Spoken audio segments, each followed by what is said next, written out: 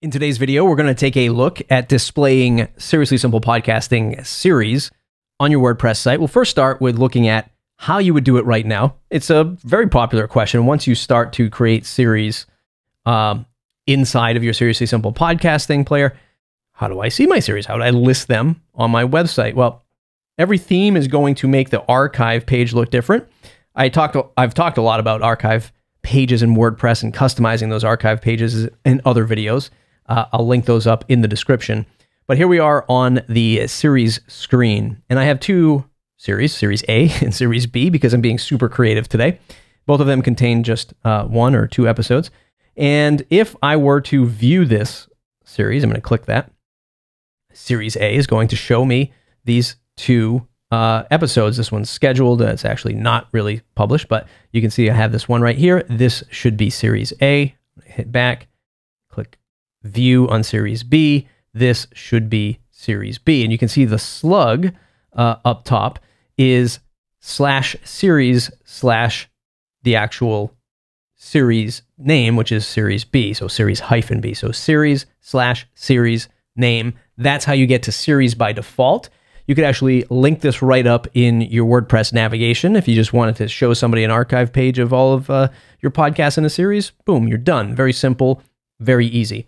But if you wanted to create, let's say, a landing page for your series and maybe add some extra content around it, like subscribe buttons, newsletters, that kind of thing, I'm going to show you how to do that next. I'm going to show you how to do it with Gutenberg. I'm going to show you how to do it with Elementor because largely those are the two most popular ways. Okay, so first, let's take a look at doing this with Gutenberg first.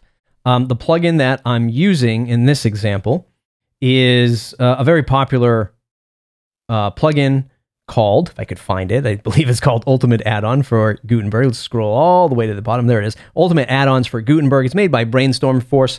Um, they're a very popular WordPress theme and plugin company. Their Ultimate Add-ons for Gutenberg is free.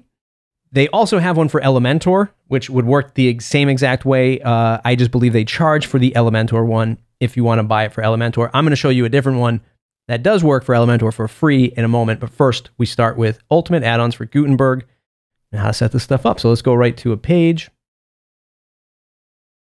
I'm going to create a new page in, in uh, WordPress. I'm going to say Gutenberg Podcast. Just give it a title. For whatever reason, I like to hit publish. Uh, just the page is there. I know I, I won't lose it. So we see it, Gutenberg Podcast. And now we'll add uh, this block here to display our uh, series. So plus on the blocks, it is this post grid uh, block that they have for the ultimate add-ons. And you can see immediately, hey, there's a bunch of content showing in a grid, as the name has aptly uh, called itself. On the right-hand side of the settings, what we want to do is focus in on where our podcasts are. And in my site, and by default with Seriously Simple Podcasting, they are all retained in the slash podcasts custom post type. Again, I have other videos on custom post types. If that's foreign to you, just know that they're not posts, they're not pages, they're in the slash podcast custom post types by default. You can change it.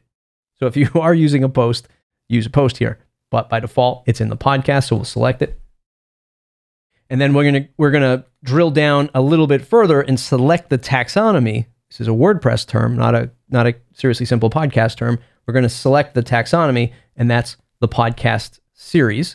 So as of right now, it's showing all of the podcast series content, and there'll be another drop down, and it will display your series uh, in your case. But you can see here for me, it's back to the Series A and the Series B examples that I showed you before. If I click on Series A, it's going to show this one post that's in Series A. If I click Series B, it's going to show this one post in Series B.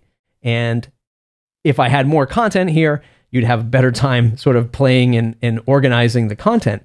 But this plugin uh, the Gutenberg Ultimate add-on by Brainstorm Force is a simple way to add these little post grids to your poster pages. So I'm just going to hit Update, Preview uh, in a new tab. And you would want to play with sort of the styling of this, which you can do with, uh, you know, with this plugin. But this is going to be all of those series that I selected, and somebody can just click on that and go right into uh, the post so that they can start playing uh, the playing the episode. And the concept here is Now this is an entire page and you can design some stuff around it, right? You could play with your template. You could make it uh, full width tem- template if you wanted to. You could add some other content, like uh, we'll add a headline, heading. We'll say, uh, listen to our latest series, and we'll center align that. And then maybe just, you know, to add something to this is we'll do image, media library. I don't know. We'll just say that that's the image that we want to use. And again, we'll just align that center, update, preview a new tab. And now we have this landing page and you might have other content here, other call to actions. But the important thing is you said, hey, display just these series right here below. Okay. That's how you do it with Gutenberg. There's a bunch of Gutenberg plugins that are out there. I'm just recommending uh, the one by Brainstorm Force because I know they're a pretty large company. They support it. They do a really good job. And again, they have one for Elementor. It just happens to be paid. So you basically you're looking for any of these add-ons that have this sort of post grid solution. And as long as you can drill down by post type, by taxonomy, then chances are you're going to be good to be able to display that on your WordPress website. Okay, let's take a look at the Elementor solution. And it's the same concept. So we go to installed plugins. This particular plugin that I'm going to uh, display today is Essential Add-ons for Elementor. Uh, it's a free version. It's been installed by over a million uh, active installs. So we will just take a look at using that. We'll go back to our pages, to Elementor podcasts. And this will work largely the same. So you'll see a tray of uh, widgets for this particular plugin on the left hand side, essential add ons. And this one is the post grid. So I'm going to grab this, drag it over to the center. Uh, again, you can see the same reaction. All of our posts are starting to be listed out here. And what's the source?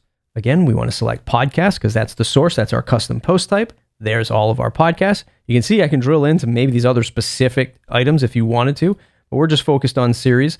There's no drop down here. It says please enter three or more characters. So you have to start typing. So series.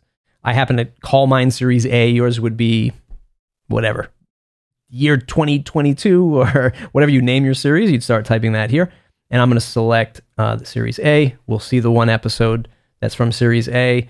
Uh, and you could even list a series B and just stack them uh, on top of each other if you wanted to. And updating that, viewing the page is very, uh, uh, very simple, very, very much the same way that you'd be doing it with Gutenberg. Stack more content around this add some call to actions, add some other buttons, whatever it is that you want to do to create your series landing pages. That's how you do it with Elementor uh, and the plugin to add that post grid on. And a lot of these add ons for Elementor that support the post grid, yeah, you can generally drill down into the custom post type and select the taxonomy. Those are just the two plugins that I recommend today. We'll recap these plugins one more time. It's essential add ons for Elementor. Again, that's free. You can search for that uh, right in WordPress.org. And then all the way to the bottom, I got a lot of test plugins on this site. Ultimate add-ons for Gutenberg, made by Brainstorm Force for free. If you want to go the Gutenberg route, displaying series on your WordPress site, it's pretty easy once you get to the right plugin and the right blocks. Uh, if you have any questions, leave them in the comments below. Thumbs up if you like the video. Subscribe to the channel if you want more. We'll see you in the next video.